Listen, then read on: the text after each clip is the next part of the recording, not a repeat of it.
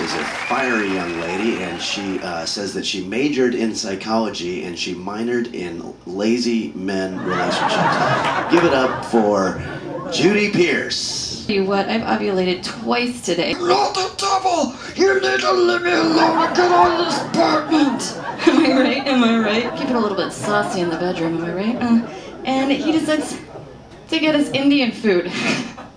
and then he makes me pay for it. Hello?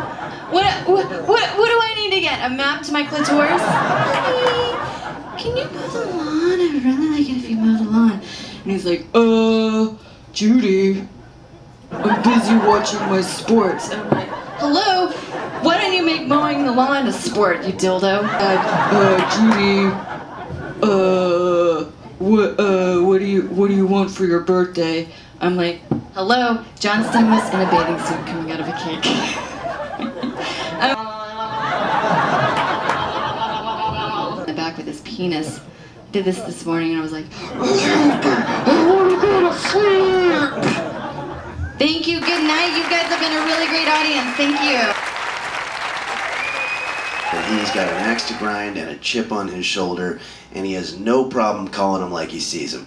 Give it up for the wonderful and a little bit racy uh, stylings of the Viper of Comedy, Mr. Glenn Donaldson. Glenn Donaldson. Yeah. Oh, jungle fever, jungle fever.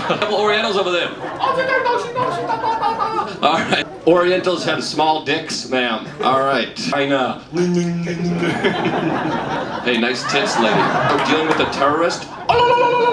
Yeah, thanks, Ahmed. Any Jews in the place? Oh, they're at the back of the office counting their money. Jews and their money, right? Hey, look who it is.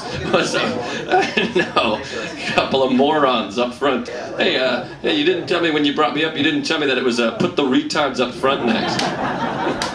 Pal. This cocksucker right here. He's a suck cock. Oh, boy.